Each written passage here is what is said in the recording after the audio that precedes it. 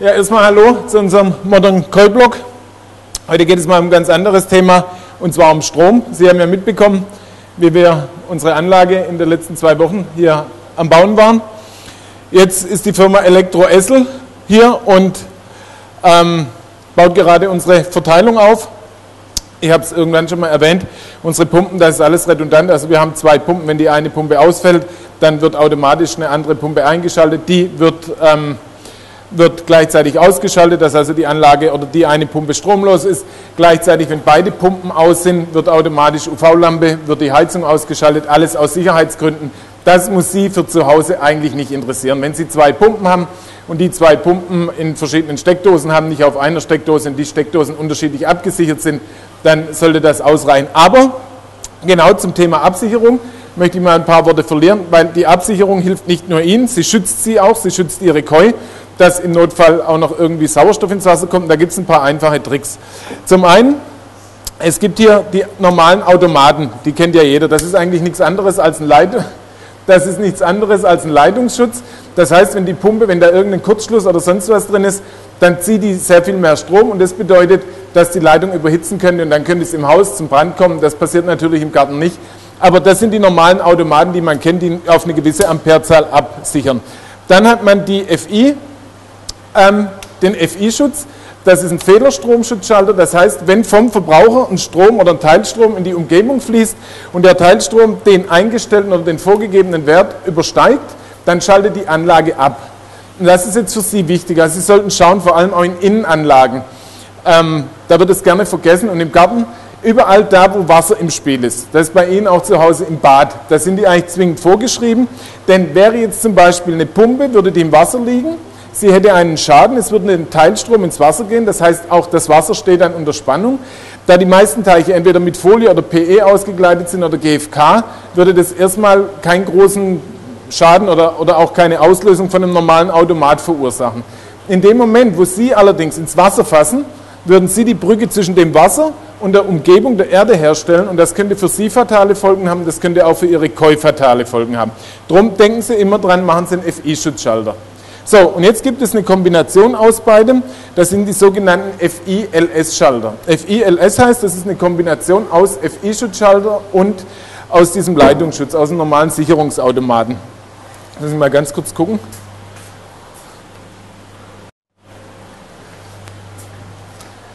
Ja, das ist also eine Kombination aus dem FI-Schutzschalter und aus dem normalen Automaten. Das hat den Vorteil, wenn Sie sich jetzt überlegen, Ihre Anlage, Ihre Gesamtanlage wäre jetzt über einen FI-Schutzschalter abgesichert.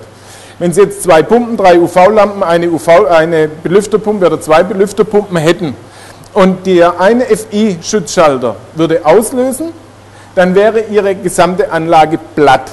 Ja, also dann würde keine Pumpe mehr laufen und dann würde auch keine UV-Lampe und keine Luftpumpe. Also Ihre Fische hätten im Notfall nichts mehr.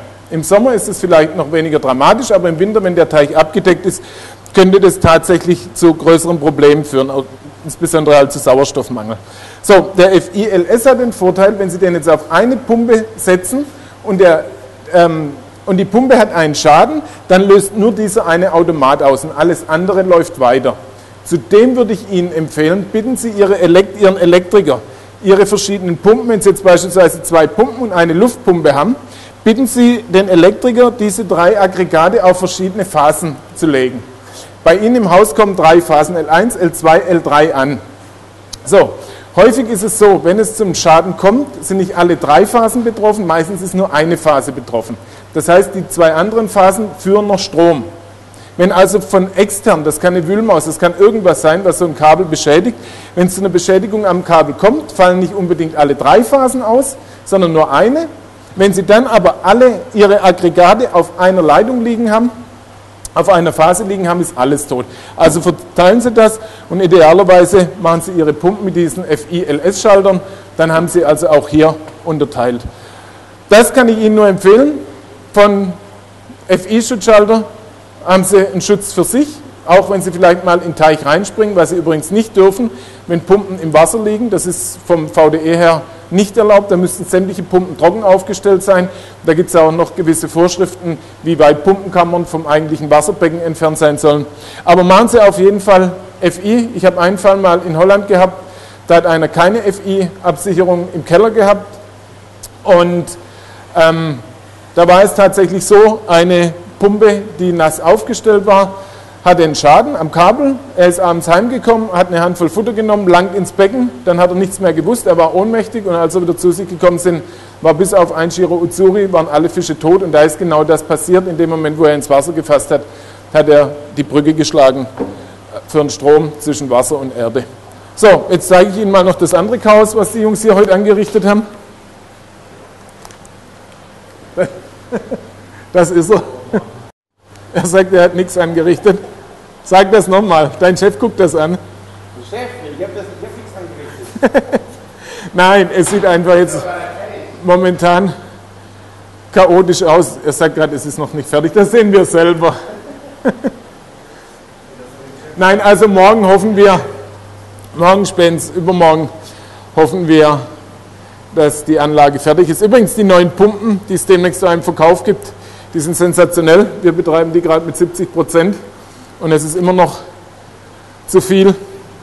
Wir werden wahrscheinlich auf 50 Prozent reduzieren müssen, aber wenigstens, wenn wir die Filter am Spülen sind, dann haben wir genügend Leistung. Ja, heute Morgen war es noch schön. Ja. Übermorgen wird es wieder schön sein. Sie sagen gerade, übermorgen wird es wieder schön sein. Ich habe das jetzt mal aufgenommen. Also in diesem Sinne, morgen spätestens übermorgen dann die finale Anlage.